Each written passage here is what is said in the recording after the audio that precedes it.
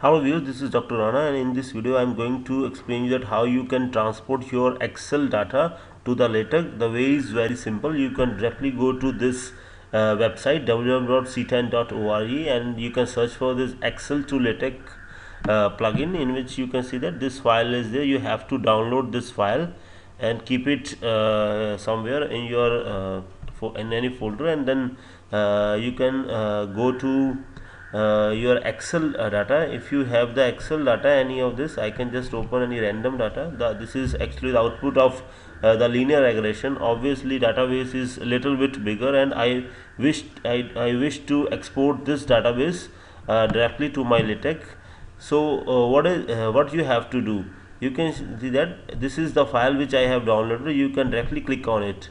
After opening this data you can see that this icon will now come add an icon is there. When you click on this add an icon you can see that this is the option. The choice is here. You you have to select the data the, that how much data you wish to transport. I wish to export uh, the entire data this one and i now click this uh, table to latex. So you can see that this code is already been here uh, written here and uh, moreover you can save this file to some new text file and uh, I wish to copy it because it's easy for me to transport. Uh, I don't want to need a more text file. So now go to the uh, uh, editor. This is TeXstudio. So now I'll open a file. So if I wish to I have uh, I can have a random file. Yeah this one is this.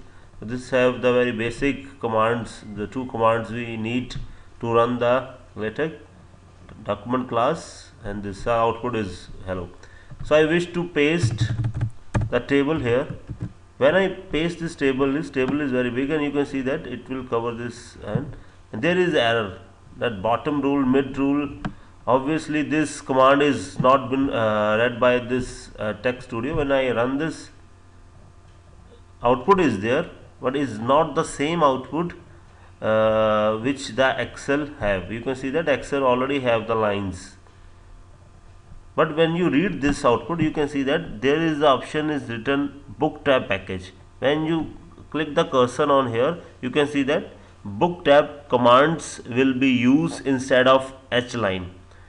So h we are using mostly the h line command for the line but uh, book tab is another package uh, for this. And obviously I have to write that package in order to uh, read this uh, rule commands. So obviously the user package when you click on user package there is the package name is book tabs. And now I run it.